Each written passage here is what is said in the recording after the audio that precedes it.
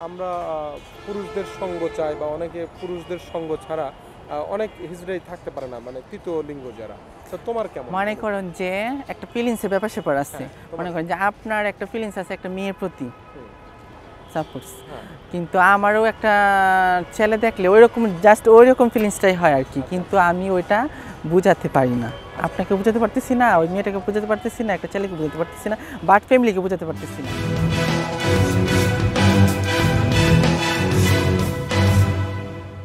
প্রিয় দর্শক, কেমন আছেন আপনারা সবাই? আশা করি আপনারা সবাই ভালো আছেন। আজকে আমরা এর আগে আমার চ্যানেলে অনেক পর্বের দেখেছেন যে তৃতীয় লিঙ্গের মানুষদের নিয়ে আমরা বিভিন্ন সময় বিভিন্ন ইন্টারভিউ বা প্রোগ্রাম করে থাকি।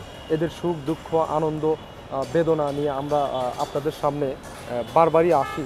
এদের লাইফ স্টোরি নিয়ে এদের জীবন বৃত্তান্ত নিয়ে আপনাদের জানার বা জানানোর অনেক চেষ্টা করি। সেই সুবাদে আজকে আমরা এসেছি আপুর নামটা? আমার নাম নিজুম নিঝুম। আহ, তৃতীয় লিঙ্গেরই একজন নিজুম নাম নিজুম আপু। দেখতে অনেক কিউট দেখা যায় সাধারণ মেয়েরা এত সুন্দরও হয় না। তো প্রিয় দর্শক তাহলে আপনারা যারা দেশ দেশান্তর থেকে দেখছেন দেশের বাইরে থেকে দেখছেন আসুন সবাই আমরা নিজুম আপুর কাছ থেকে সরাসরি তার কাছ থেকে শুনি তার জীবন সম্পর্কে জীবন স্টোরিগুলো আর কি জীবনের গল্পগুলো। হ্যাঁ নিজুম আপু হ্যাঁ আপনার এমনি বয়স কত? আমার বয়স চব্বিশ বছর।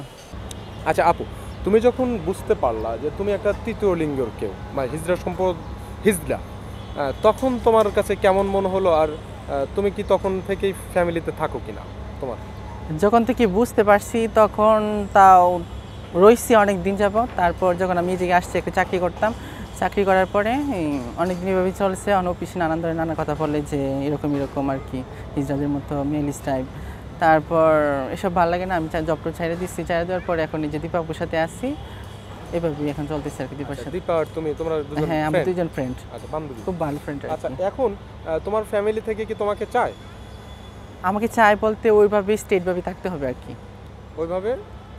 ফ্যামিলির সাথে থাকলে আমার ওই রকম স্টেটভাবে থাকতে হবে। হয় ছেলে নয় মেয়ে হ্যাঁ? হ্যাঁ না না মেয়ে হয়ে তো না ছেলে হয়ে থাকতে হবে। ছেলে হয়ে থাকতে হবে। হ্যাঁ। তো তুমি তো ছেলে না। না কিন্তু ওরা তো সেটা বুঝে না। সেটা বোঝে না। এখন তুমি ফ্যামিলি ছেড়ে চলে আসছো। হ্যাঁ। ফ্যামিলির বাবা মা তোমাকে ফোন করে? হুম, ফোন করে মাঝে মধ্যে রিসিভ করি। রিসিভ করার পরে এই সেই আগের কথাই কয়। তো আমার ভালো লাগে না মানে মাঝে এখন আর রিসিভ করতে ভালো লাগে না। এখন রিসিভ করতে ভালো লাগে না। সেক্ষেত্রে এই যে তুমি যে আসো এখানে এখানে তোমার সুবিধা কি অসুবিধা কি? তোমরা যে কি কি অসুবিধা ফিল করো সমাজে? ফিল করি রাস্তাঘাটে চলতে গেলে নানান ধরনের বাজে কথা বলে নানান কথা বলে যে ইজরা এই সেই এগুলো আর কি। কিন্তু ওইগুলো শুই নাও কিছু করার নেই। আচ্ছা হিজড়া বলে অনেক। হ্যাঁ অনেকে বলে। তারপরে কি তোমার কষ্ট হয়? মনে মনে কষ্ট হওয়া আগে হয়তো এখন আর হয় না। এখন মনে করি যে আমি যেটা সেটা মানুষে বলবে। একটা ছেলেকে ছেলে বলবে একটা মেয়েকে মেয়ে বলবে একটা হিজড়াকে হিজড়া বলবে সেটাই স্বাভাবিক। এমনি তুমি এখন কি করো? আমি এখন একটা ইয়া করতেছি একটা ডান্স প্রোগ্রামে কাজ করি। ডান্স ডান্স একাডেমিতে আর কি কাজ করি। ও আচ্ছা নৃত্য করো? হ্যাঁ। বিভিন্ন জায়গায় প্রোগ্রাম করো? বিভিন্ন জায়গায় প্রোগ্রাম করি। ও ডান্স পারো? আমরা বললে কি তুমি এখন দেখাতে পারবে? এখন হয়তো ওরকম না কিন্তু নেক্সট আচ্ছা, আপনাকে দেখাবো। আচ্ছা ঠিক আছে আচ্ছা এমনিতে পাশাপাশি আর কি করো? মানে ড্যান্সের পাশাপাশি আর কিছু করো? পাশাপাশি একটা কাজ করি। কি কাজ? ওইটা মনে করেন যে কিছু ছবি টবি আঁকতে পারি এগুলো নিয়ে ছবি টবি আঁকো। কিন্তু আমি যেটা এটা এখনও প্রকাশ করতে পারতেছি না আর কি আচ্ছা। যে আমি কি করতে চাই এটা সবাই বুঝাইতে পারতেছি না। মানে তুমি এখন বর্তমান তোমার জীবনের আশা কি? মানে তুমি কি করতে চাও? আমি খুব ভালো একটা কাজ করতে চাই সমাজে সবার সাথে ভালো করে মিশতে চাই চলতে চাই সেটাই। আচ্ছা সমাজে ভালো আমি চাই সমাজ আমাদেরকে মেনে না তোমাদেরকে মেনে নি কেমন ধরনের মেনে নেওয়া? যেরকম আপনারা চলতেছেন যেরকম একটা মেয়ে চলতেছে ওরকম হিজড়াও চলবে সেটাই। তোমাদের তো মেনে নিয়েছে সরকার অনেক সুযোগ সুবিধা দিচ্ছে সরকার দিচ্ছে ঠিক আছে কিন্তু পাবলিক সেটাই ইয়ে করেন। পাবলিক পাবলিকের কাছে তুমি কি চাও? এর ওপেন কথা বলো। পাবলিকের কাছে আমি কি চাই? পাবলিকের কাছে চাই যে সাধারণ মেয়ে ছেলে যেভাবে জীবনযাপন করে আমরা সেভাবে চলতে চাই তুমি কি বিয়ে করতে চাও? না, আমার দাঁড়াতে মনে করেন যে মেয়ে বিয়ে করা তো পসিবল না। হ্যাঁ। কিন্তু একটা ছেলে বিয়ে করাও তো এরকম না। অনেকে তো করে। অনেকেই করে কিন্তু দেখেন করে টাকা পয়সার জন্য করে করার পরে আবার কিছুদিন পরে তাকে রিলেশন করে টাকা পয়সা নিয়ে অনেকে শুনছি যে চলে যায় পালিয়ে যায় আর কি এ- এটা- কারা যায়? ছেলেরা যায়? ছেলেরা তো কোনো ইনকাম করে না ওদের কাছে আইসা। আচ্ছা আচ্ছা।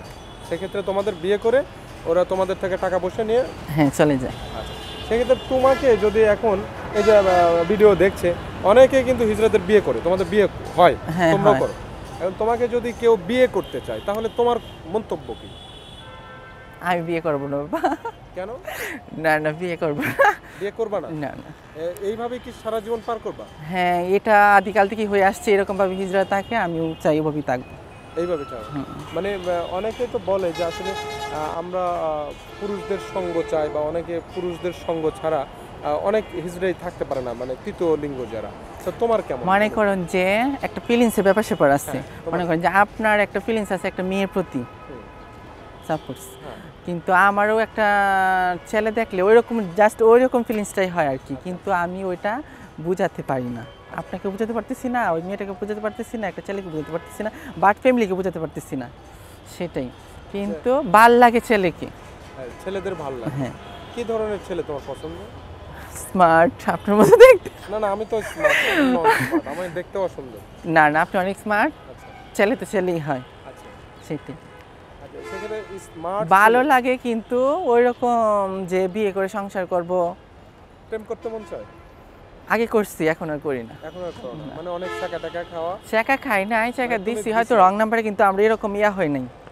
কাছে এই যে মুখোমুখি হয় না আর কি। আমি যদি তোমার সাথে প্রেম করতে চাই সামথিং করবেন। আচ্ছা আচ্ছা আচ্ছা। আহ, তোমাকে আমি প্রিয় দর্শক আগেও বলছি এখনও বলি যে তৃতীয় লিঙ্গের মানুষগুলোকে আমরা সবসময় ছোট চোখে দেখি অবহেলার চোখে দেখি।